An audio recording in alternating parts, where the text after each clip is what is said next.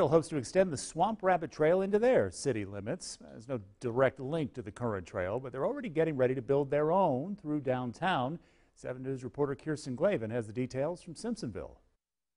This is a one mile stretch of trail that City Council voted to start building right here at the start of Trade Street all the way down toward Fairview Road. Now, while it may be isolated to start, the big picture is to connect it to a growing network of trails already in this area. This one actually has a little bit of a shock absorber in it. For bike shops like Cycle Haas in Simpsonville, getting a new bike trail through the downtown area is a game changer. I think it's going to be really cool.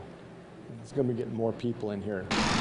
The small business sits right near Trade Street in the middle of downtown where the one mile stretch of path is set to start. Simpsonville City Council voting unanimously to invest 450,000 into laying asphalt and fixing stormwater piping to build the trail out to Fairview Road. They will be exposed to all of our wonderful shopping here in the downtown area, our restaurants, some of our unique places such as some of the gift shops.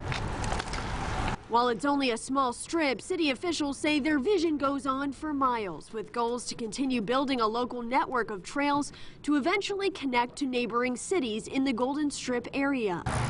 City Administrator Diana Gracely says they're working with Greenville County to ultimately connect it to the Swamp Rabbit Trail. The idea is to have the spine of the Swamp Rabbit, if you will, extend from ICAR along the existing railway um, all the way through the Golden Strip area. So this would be part of that spine of the system. Meanwhile, one local organization called the Golden Strip Trail Group is facilitating those meetings with neighboring city leaders and with the community to hopefully link it all. We're working all together to try to make this happen. So we're starting with a one mile piece, but you know, hopefully it'll be many, many miles of trails. And the next phase of this project is to connect this one mile stretch of trail toward Heritage Park. Reporting in Simpsonville, Kirsten Glavin, 7 News. Kirsten says that trail could be ready for use by this fall.